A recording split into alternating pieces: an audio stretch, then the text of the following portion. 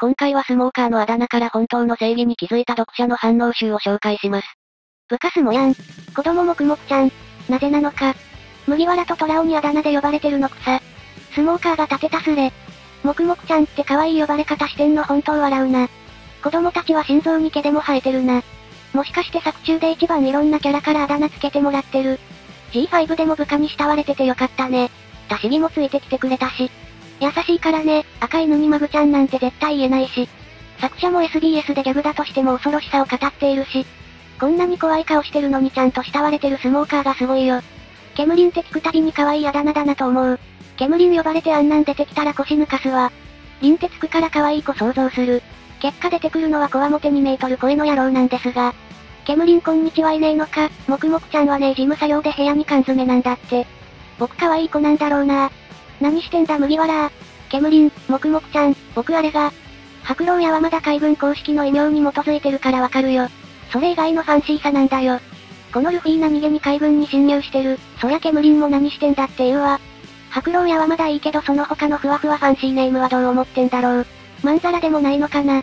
子供に優しいからってのはあると思うけど個人を認識できればいいって思ってそうな気もする。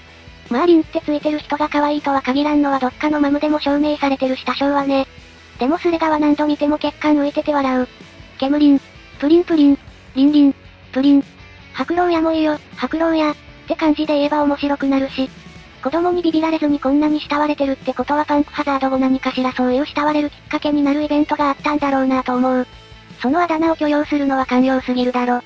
もうちょいあれで半ばヘイト入ってるあだ名でもガキども発祥ならおい行儀悪い言葉使ってんじゃねえ、みたいな方向性で叱るくらいしかしなさそう。呼ばれることについてはガキのやることだからあんまり細かく気にしてなさそう。煙になって子供たちと追っかけっこでもしたんじゃないか、遊んでやったのか騒ぎまくるのを捕まえに行ったのかは知らないけど。まあ子供からしたら触れる煙なんて最高に楽しいだろうしな。X 級ツイッターかしぶか忘れたけど、スモヤンが子供たちを煙で高い高いみたいなことをしてる漫画見たことある。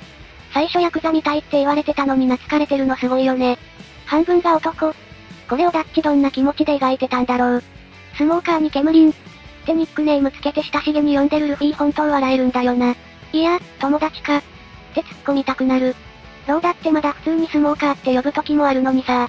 タシギや G5 の部下たちを大切にしていたり、アラバスタで助けられた義理と現場判断でルフィたちを見逃したり、ローの行き先をドフラミンゴに言わなかったり、めちゃくちゃ義理がたくて良いやつだし、これからの海軍の希望の星の一人だと思う。ほんとかっこいいよな。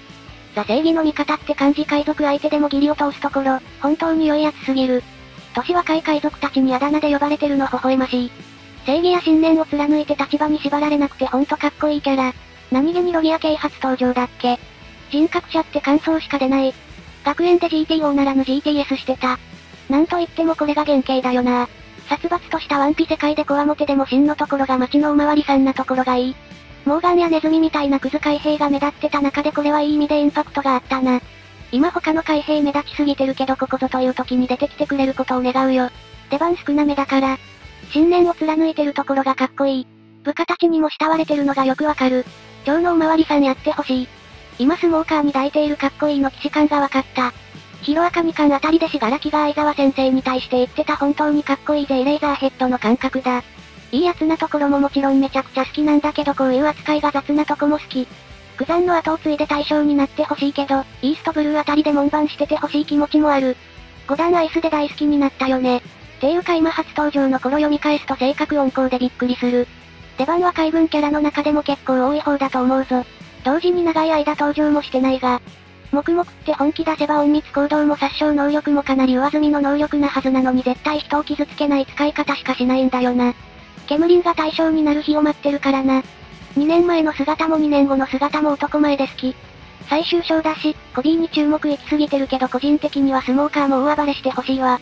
コビーが中将、スモーカー減衰は対象とかそういう塩梅がすごく見たい。基地長になったけどそれでおとなしくする玉じゃないしな元々の異名は狂犬だぞこいつ。今どこで何してんのかなケムリン。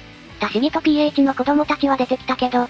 タシギが出てきたのに今出てこないのは何かでかい役割があるからって信じてるぞスモヤン。そうでないとおかしくなる。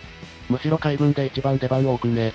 スモーカーは海賊との立場をしっかり分けてて海賊は絶対に捕まえるという信念はあっても海賊を憎んでいて傷つけたい人ではないところも好き。海賊嫌いの海兵と言われると納得できるんだけど海賊を憎む海兵は違和感がある。ああ確かに白赤の真っ当でかっこいいヒーローってタイプだよな。ステインに好かれそうな、そういえば堀越はスモーカーの笑顔ソップギャラリーに乗ってたっけ。意地悪で草。仲良しかよ。街のおまわりさんにいたらめちゃくちゃ安心だし不良たちに慕われてそう。スモーカーは世界政府のやり方に疑問抱いてるところも好き。新時代に必要な人間だと思う。多思議の体になっても基本気にしないでガサツに足広げたりしてるところもなんかいいよな。今やるべきことの前では自分の体の細かい振る舞いなんか気にしてられるかって感じが。意見を通すには地位が必要って理解してるしたたかさも好き。そんで実際に中将になってるんだから惚れるわ。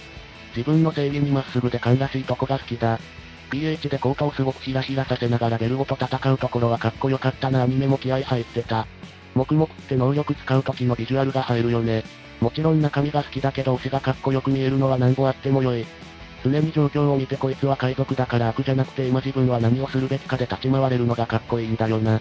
なんかすごいまともな志望動機で軍に入ってきてそう。正しく正義の味方の海兵さんだよねこの人。幼少期イラストでも犬を守って喧嘩したような感じだったしもともと正義感強かったんだろう。スモヤン見て憧れて将来は海兵になるんだ。ってなるちびっこもいそう。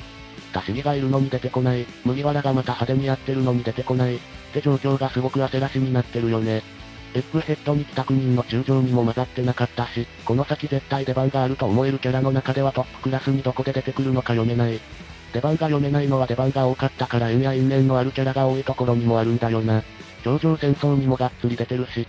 ディボーン大佐やミョスガルド星、コブラ王といった現代性崩壊後の大政谷川の希望になると思っていた人物が次々に亡くなっているのが気にかかる。案外コビーやヘルメット、タシギともどもスモーカーがそういうキャラになるのかな。